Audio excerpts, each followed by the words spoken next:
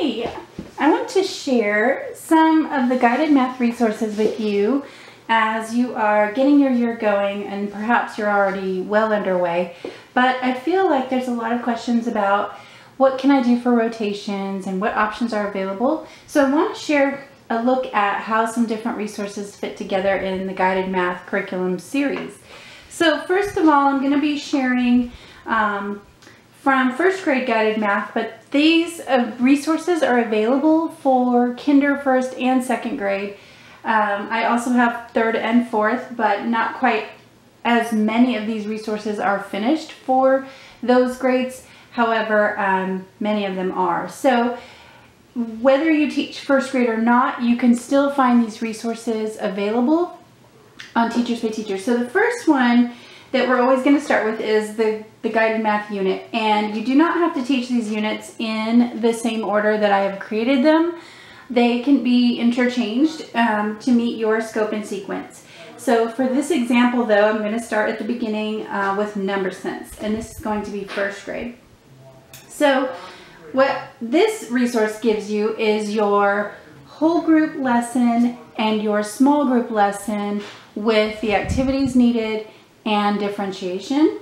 Um, so inside, here's lesson 10. We've got our essential question, our objective. Here we'll find our whole group lesson, discussion questions, the materials which are included, the small group lesson, the differentiation, and behind you'll find any um, materials that you might need that are printable as well. And that just continues on and then at the end of the unit you will find a unit assessment. Now as you begin guided math, you're going to pair that with this free download. It's how to launch guided math.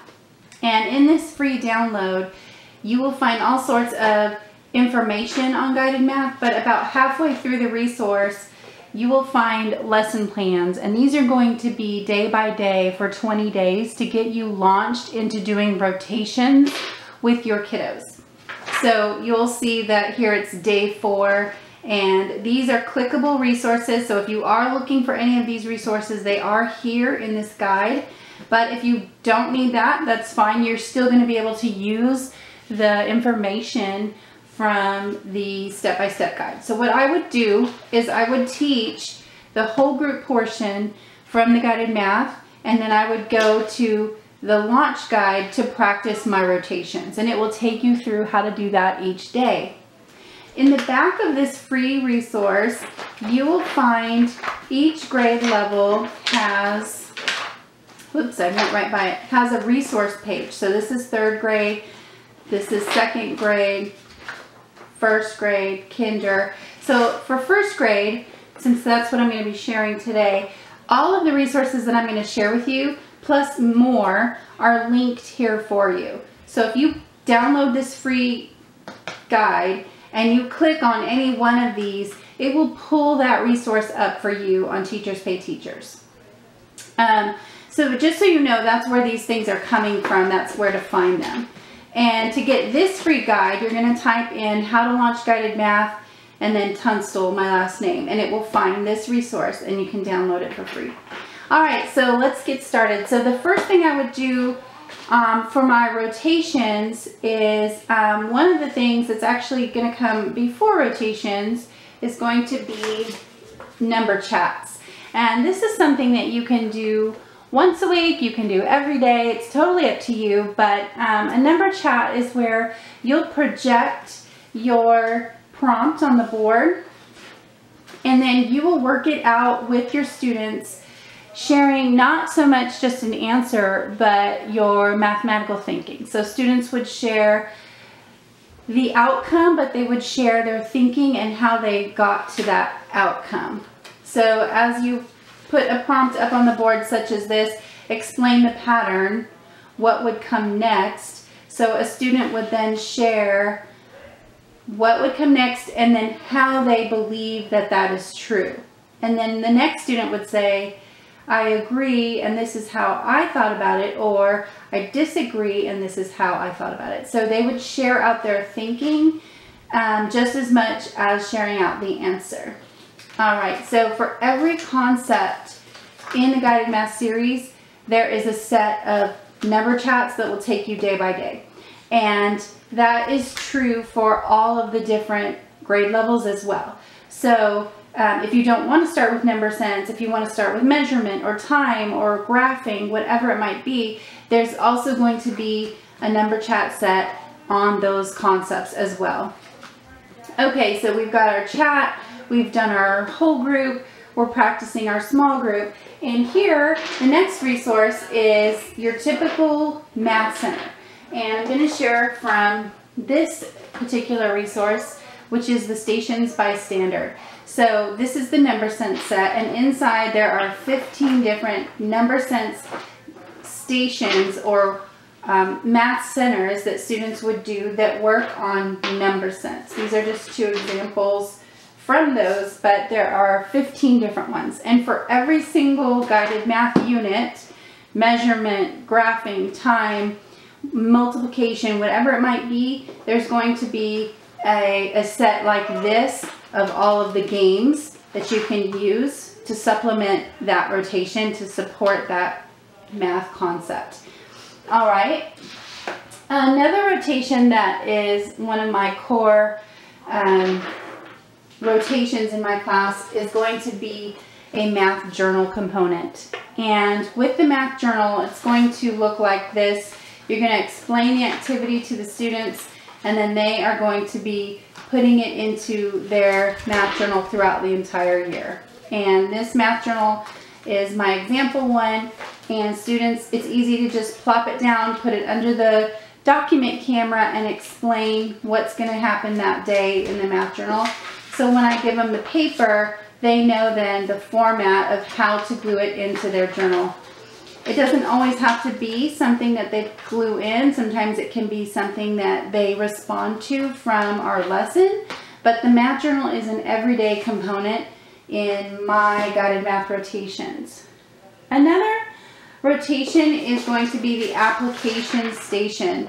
And I use different printables, they're called practice pages in my store, that support, again, the, the concept. So this these come from the Number Sense Number Patterns Pack for first grade. And um, again, if, if you're choosing a different concept like addition or subtraction, then there's going to be practice pages that support and supplement that as well. Um, another rotation that we have is our technology rotation.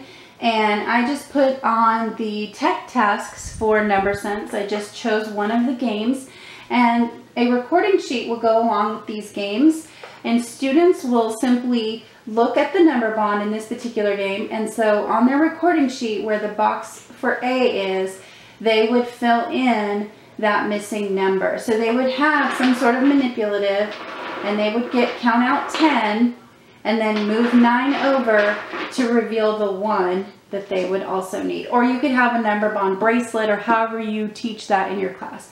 So these are called tech tasks and then students just simply swipe to get the next um, problem that they're going to fill out. So there are different tech tasks games and again those are going to complement the guided math concept that I'm studying. All right, and then I just want to share some supplemental resources that I also have that have been developed this summer that maybe you're not aware of. One of them is the Guided Math Home Connection. So this is something you can send home that fully supports this teaching as well. So the first one you send home is the All About Our Guided Math Classroom. It just explains to parents what that looks like, what it means.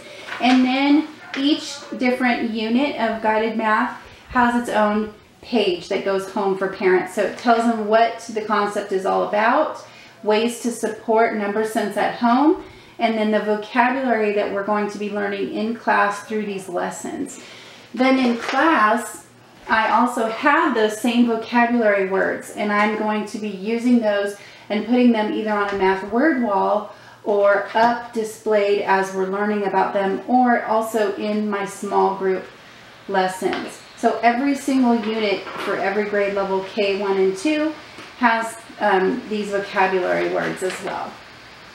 Another thing that I'm going to be using that is new this summer is um, I'm going to have a math focus. So if, for each one of our different concepts, we're going to have a math focus that explains what the concept is. Again, this is something that the parents get as well. So it's all going to go together. And there's different ones throughout the year. But I'm going to use that kind of as my over general vocabulary and explanation, whether it's on an objective wall or a word wall or in my small group, just to explain the concept being studied. And the final resource that I want to share with you, excuse me, is um, something to be um, used in your small group teaching. So we always talk about math strategies and getting students to um, use strategies when they're thinking. And we do this wonderfully for reading, but a lot of times we don't think about it for math.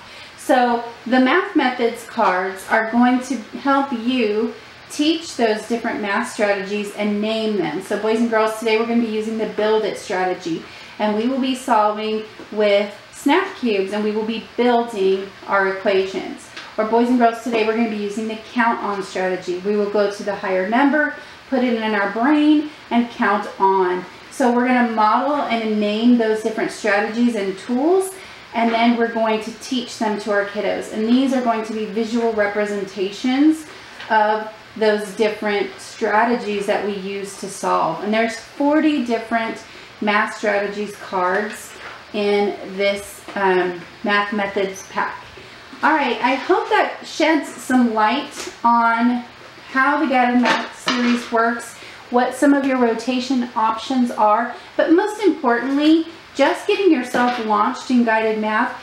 If you need this, whether you're using this curriculum or perhaps an adopted curriculum with your school, this launch guide can help you know how to introduce those different stations, how to get your kiddos going, um, how to set those expectations. And inside you'll find things like free games that you're going to use to model um, as you go through. So it's really going to kind of support you as you teach those different stations.